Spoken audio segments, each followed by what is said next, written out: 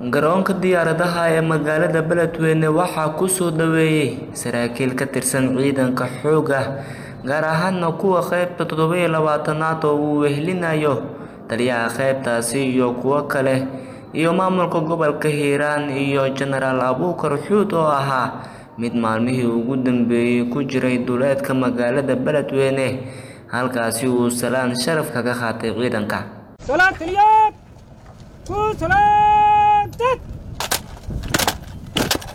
maamulka gobolka hiiraan iyo saraakiisha kale ee ciidanka ayaa kulan qeybta nasiinada ee garoonka kula qaatay.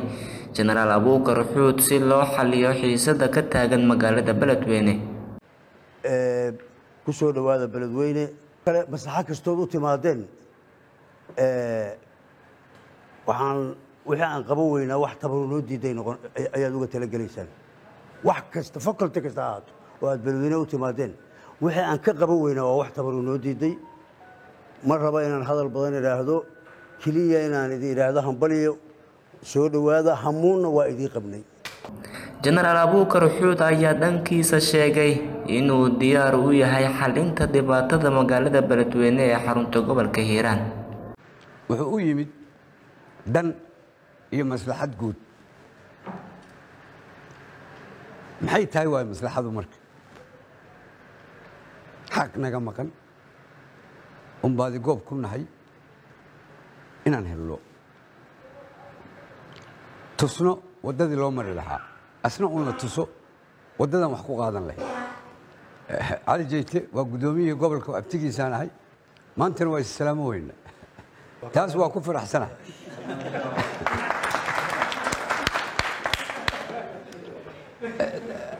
dadow marka ha isku sirminaha.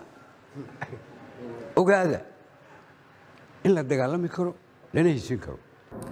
Jenaraal maxamed tahliil biixi taliyaha ciidanka xoogga dalka soomaaliyeed ayaa sheegay in sababta uu beledweyne u gaaray ay tahay xalinta shaqaaqooyinka maalmihii dambe ka taagnaa magaalada.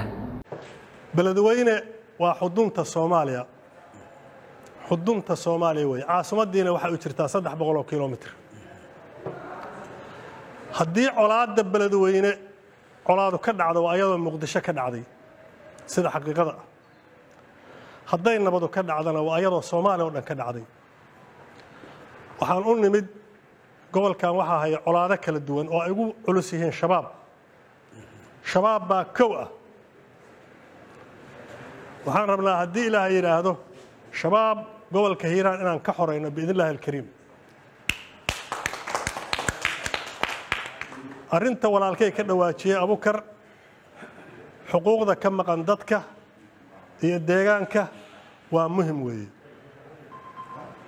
Insha allah waxaan ku raadsan doonnaa waddo sakhiran ilaahayna aan ka baryayna ilahay inuu noogu soo dhoweeyo oo noogu fuudeeyo.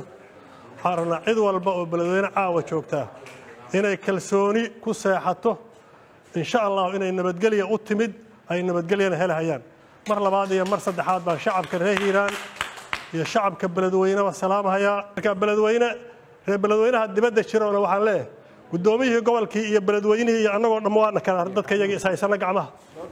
Ma arkaysaan? Adinkuna ha isku kaaya dirinina nabadda nagala shaqeeya. Nabadda nagala shaqeeya oo soo gala. Magaaladiinna abuurta. Lacagta aad ku bixinaysaan waddada waddada khaldan aad ku bixinaysaan iyo colaadda aad ku bixinaysaan kaalaha beeraha ku bixiya oo dadka abaaraysan siiya oo ka shaqeeya wanaagga ka shaqeeya. Asalaamu calaykum waraxmatullahi wabarakaatu. Abuukar. Cali cadaawe abuukar yare. Warbaahinta city.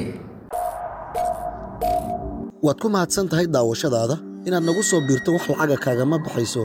Keliya waxaad u baahan tahay inaad falow saarto boggeenna facebook ama aad sabskraib dhahdo janaalkeenna youtube adigoo bartilmaamaydsanaya city somaali t v an rediyo la jaanqaad warbaahinteenna oo hel warar iyo barnaamijyo adiga kaa hadlaya